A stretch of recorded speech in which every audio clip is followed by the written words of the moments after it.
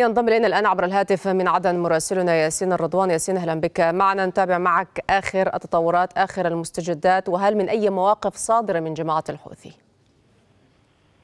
آه نعم حتى هذه اللحظة لم يتم إطلاق أي تصريحات للرد على ما تحدثت به القيادة المركزية الأمريكية من أن طائراتها المروحية أغرقت آه، ثلاثة زوارق من أصل أربعة آه، زوارق تقريبا شمال آه، غربي ميناء الحديدة الاستراتيجي الذي تسيطر عليه جماعة الحوثي. وقبلها أيضا تحررت أو تم إسقاط عبر القوات الأمريكية البحرية المتواجدة في هذه المنطقة.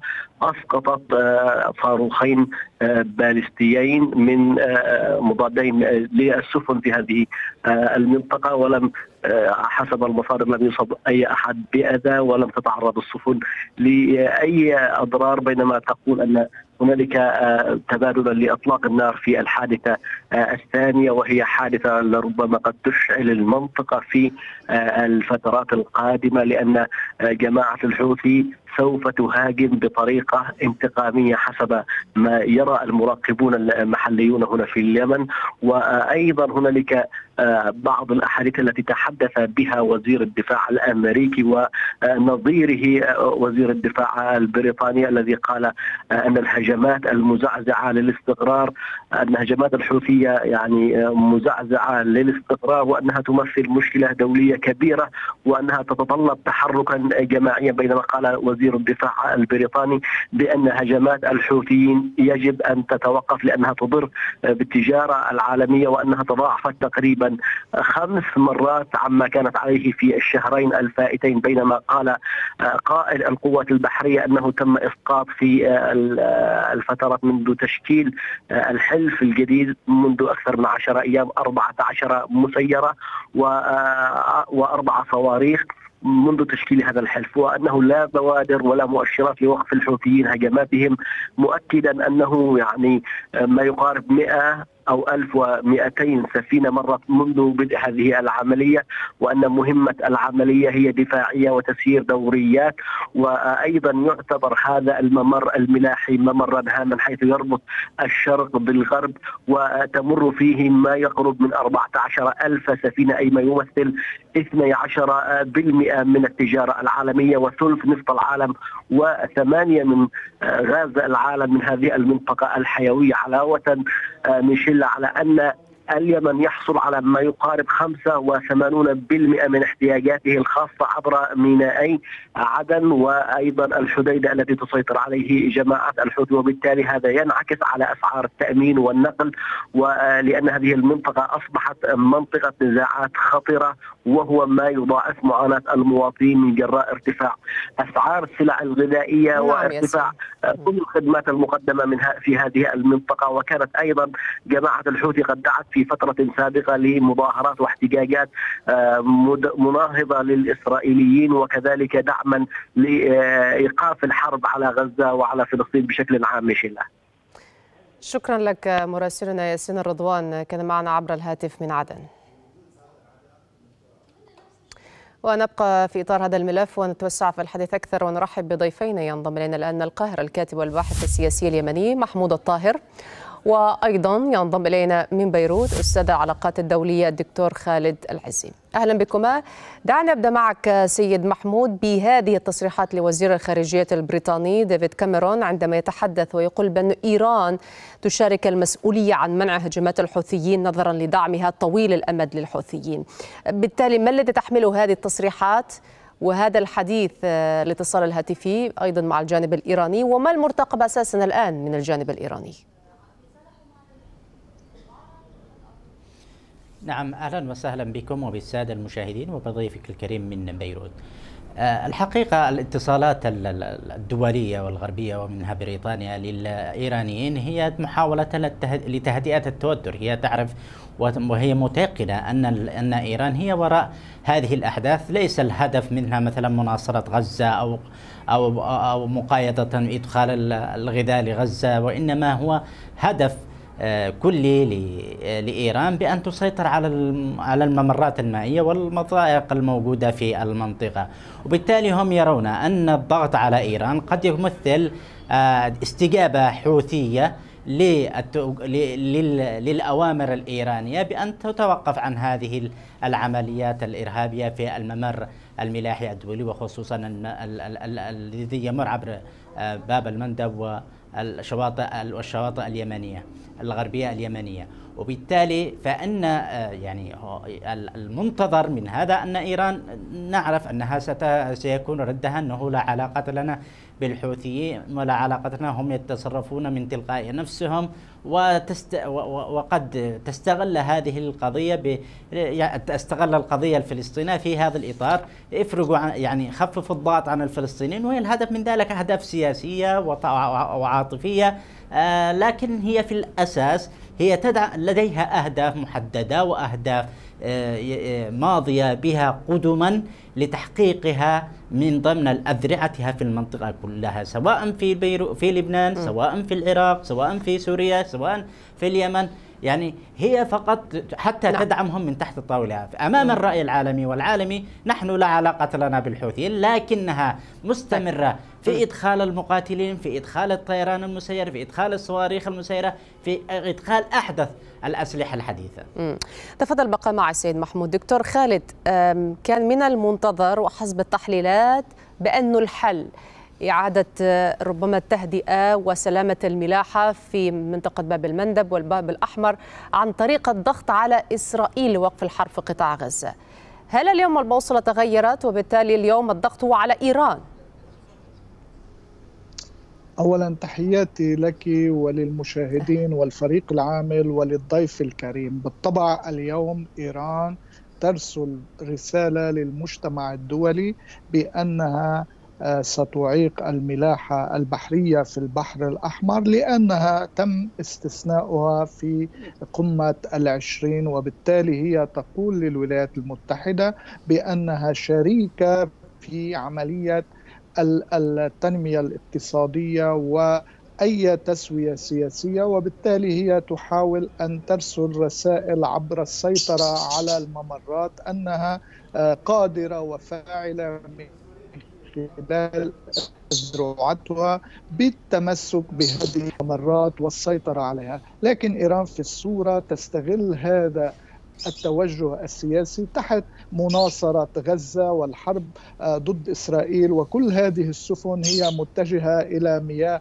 آه، يعني إلى مرفأ آه، حيفا. وهذا كلام تريد به السيطرة على العقول العربية والعقول الإسلامية بأنها تنتصر لقضية غزة وتحارب إسرائيل. لكن بالفعل أن هذه الأزرعة وتحديدا الحوثي هو اليوم في نشوة لإعادة فرض سيطرته والتوجه نحو الإدارة الأمريكية بأن يعيد تعويم دوره في السياسة اليمنية بالاعتراف به وإعادة فتح السفارة وحمايتها واعتباره شريكا في عملية التسوية القادمة وليس مجرد آه، يعني آه، فصيل خارج عن القانون. أيضا هذه الرسائل ترسل تحديدا إلى الدول العربية والخليجيه ومنها الإمارات العربية والسعودية بأن أي تحرك غير آه، مناسب سيكون مصير يعني هذه الدول كما مصير السفن التي تختطف من البحر. وبالتالي هنا نلاحظ بأن آه، إيران هي اليوم الفاعل الذي تقوم بهذه العمليات وتدريبها ومدها بالسلاح من خلال الأذرعة المنتشرة لمواجهة آه، التواجد الأمريكي ولكن بصورة غير مباشرة، لكن هنا آه، بالنسبة للتحالف لا يمكن هذا التحالف أن يقوى وأن يكون فاعل لمجرد أن طيب. يكون فقط يعني حرس مياه. إذا لم يكن هناك أهدافا فعلية يتم ضربها والتعامل معها. وهذا اليوم آه، كثير من الدول تنسحب لأنها لا تريد إعطاء دور للدعاية الإيرانية وللدعاية الحوثية بأنهم يحمون السفن الإسرائيلية وهنا يبدو الأمر سيبقى كما عليه إلى أن تنتهي حرب غزة وعندها سيتشكل فريق فاعل ضمن استراتيجية حماية المنطقة طيب. في البحر الأحمر والاقتصاد العالمي وبالتالي ستكون إيران في مواجهة مباشرة مع المجتمع الدولي. ربما أضيف أيضا نقطة هنا. ليس فقط عندما تنتهي الحرب في قطاع غزة ولكن هناك أيضا ما يتحدث عن ما يحدث في الداخل الأمريكي الانتخابات التمهيدية وغيرها. طيب دكتور خالد دعني أذهب الآن إلى السيد محمود. سيد محمود هل فعلا تقرأ بأنه كل هذه التحركات الحوثية هذه هي الرسائل التي تقوم ب إرسالها اليوم كما تحدث دكتور خالد لأنه أيضا هناك نقطة أخرى في هذا الإطار بأنه هناك أهمية كبيرة بالنسبة للبحر الأحمر للجانب الإسرائيلي اقتصاديا على الأقل عندما تعلن جماعة الحوثي منذ البداية بأنه هذا الاستهداف هو استهداف مرتبط بإسرائيل ب سفن لها صلات بإسرائيل ومتجهة بإسرائيل هل كل ما يحدث اليوم فعلا يفند هذه التصريحات وهذه المواقف؟ اولا قبل أن تبدأ الحرب الإسرائيلية على غزة أست... يعني هناك أكثر من 11 أو 12 حادثة قامت بها ميليشيات الحوثية ضد سفن إماراتية وسعودية وإقليمية. لم تكن هذه الأولى ولكن جاء حرب غزة.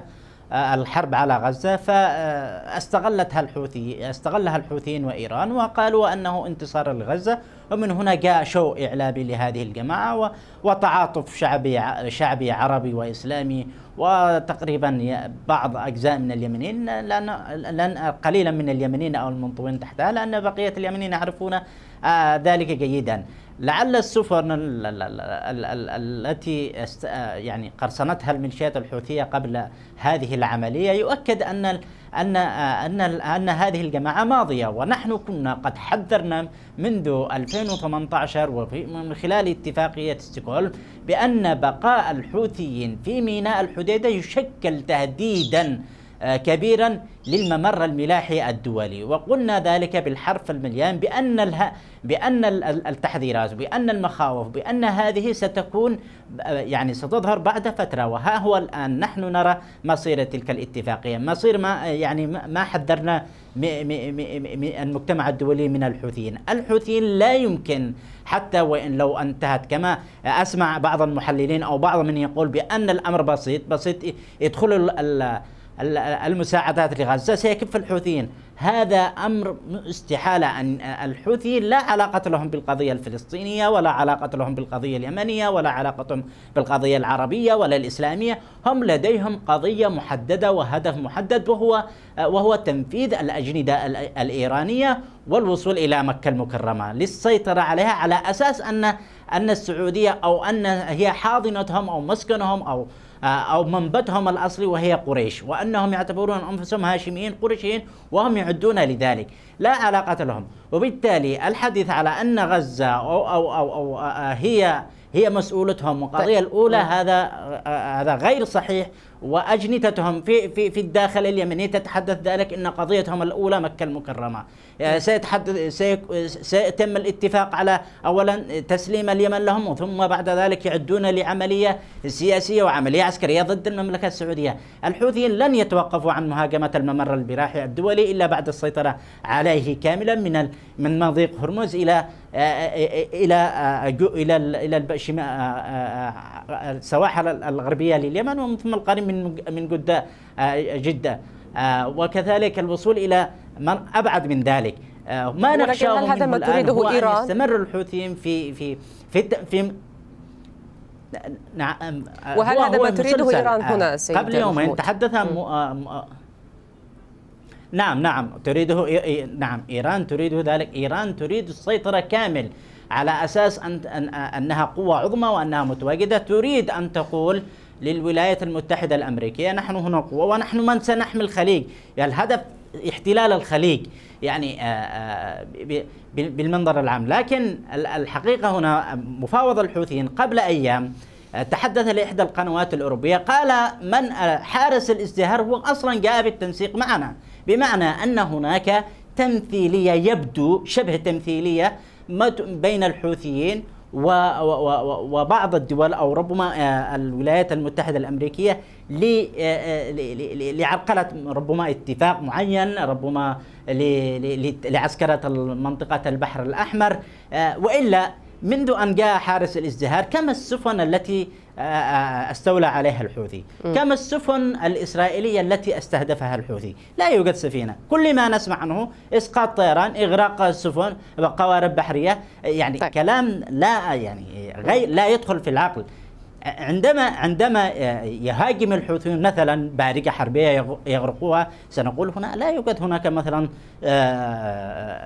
تخادم بين هذه الجماعة. عندما نرى سفينة إسرائيلية حقيقة سيطر عليها الحوثيين سنقول والله الحوثيين لديهم قضية يدافعون عنها. لكن الأمر كل هامشي. آه، هناك طيب هناك عمل ما متفق. هناك عمل متفق ويجري تنفيذه بإتقان. نعم. طيب دكتور خالد مع ذلك آه، التداعيات الاقتصادية حاضرة يعني وفي متابعة لكل هذه التطورات شركة ميرسك هي التي أعلنت بأن هناك سفينة تعرضت للهجوم وهي تواصل بحارها. والآن يتم تعليق جميع الرحلات البحرية عبر البحر الأحمر لمدة 48 ساعة بالنسبة لهذه الشركة.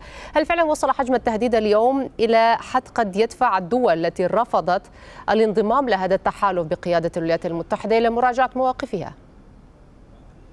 آه، بالطبع ما يحدث آه، بالنهاية هو تهديد للأمن الاقتصادي العالمي وخاصة 40% من الاقتصاد العالمي تمر عبر قناة السويس وباب المندب. وبالتالي مصر قالت أنه لا يمكن لهذه الدول أن تكون فاعلة إذا لم تكن الدول الموجودة على شواطئ البحر الأحمر وباب المندب هي موجودة. وبالتالي هذه الدول اليوم لا تريد الدخول لسببين لأن الولايات المتحدة هي من تتحمل المسؤولية منذ بداية منذ بداية ال ال يعني ال الحادثة التي رفعت فيها الحوثيين عن قائمة الإرهاب وبالتالي آه، تساوت الولايات المتحدة وبريطانيا مع الشرعية عندما أجلست الحوثي والشرعية على نفس الطاولة وتعاملت معهم على أنهم فصيلان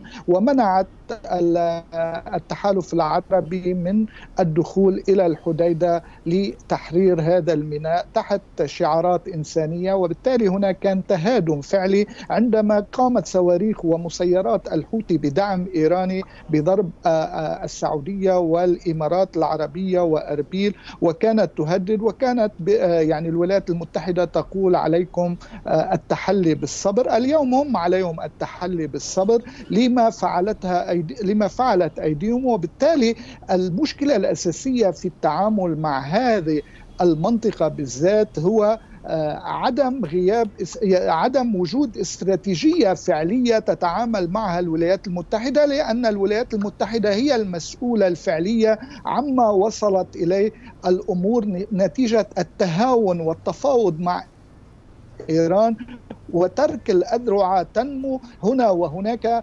وانتشرت من البحر الأحمر حتى آه، جنوب لبنان. وهذا يدل على أن المشكلة يجب آه، تقف الولايات المتحدة ضمن آه، يعني خطة واضحة لكي تسير معها هذه الدول وتنضم إليها لأن لا يكفي لهذه الدول الوقوف في البحر الأحمر والانتظار بإطلاق مسيرة من هنا وصاروخ من هناك. وقوات الحوثي تحاول أن تنمي قدراتها الصاروخية ومسيراتها. إذا الحوثي لا يريد القتال ضد إسرائيل لأن هناك قاعدة أو أكبر قاعدة في أرتيريا. إذا أراد لإسرائيل أن يضربها يضربها وهي تبعد 25 كيلو متر وبالتالي لا داعي لضرب صواريخ تطال 2000 كيلو متر حتى تنفجر في صحراء سيناء.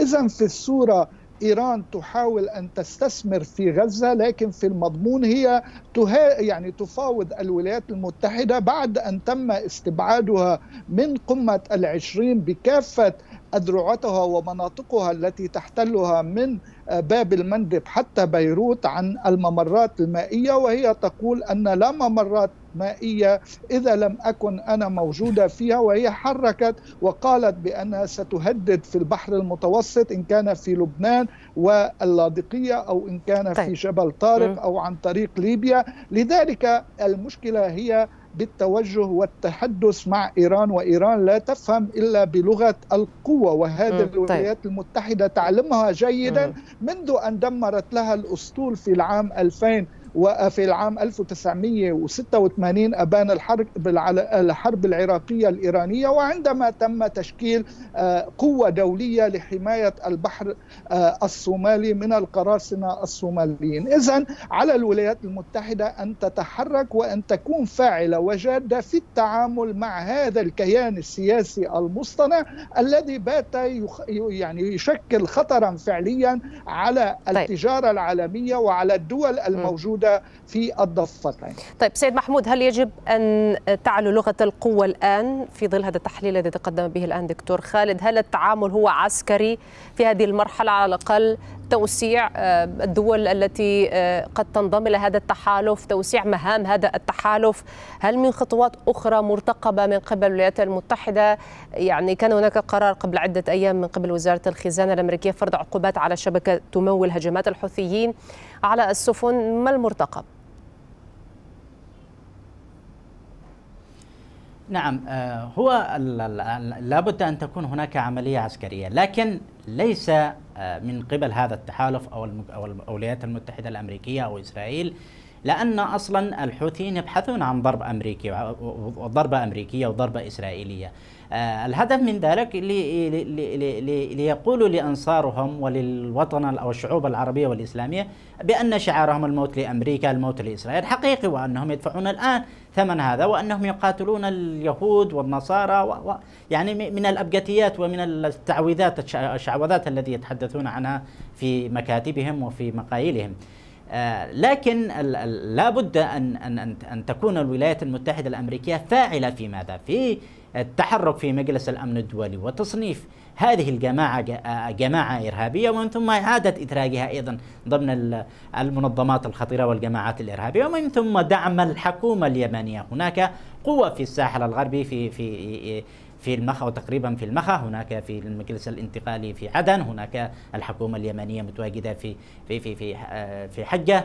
يعني تدعم هذه القوات الميدانية والعسكرية والبحر يعني لحماية البحر الأحمر ومن ثم إبعاد الحوثيين عن عن محافظة الحديدة. هذه المحافظة الحديدة النفس الوحيد أو الرئة التي يتنفس منها الجماعة الحوثية ومن خلالها أدخلوا الكثير من الأسلحة الحديثة والصواريخ البالستية وكذلك مقاتلين أجانب.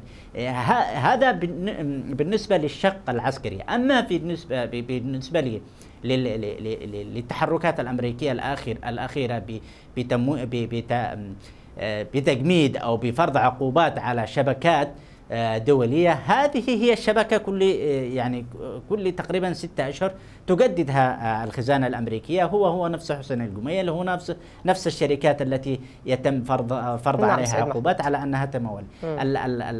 العقوبات العقوبات ليس يعني فيها نجاعة وليس فيها حل. الحل هو دعم الدول المنطقة أو الحكومة اليمنية لحماية البحر الأحمر لتحرير محافظة الحديدة لتنفيذ على الأقل اتفاقية ستوكهولم.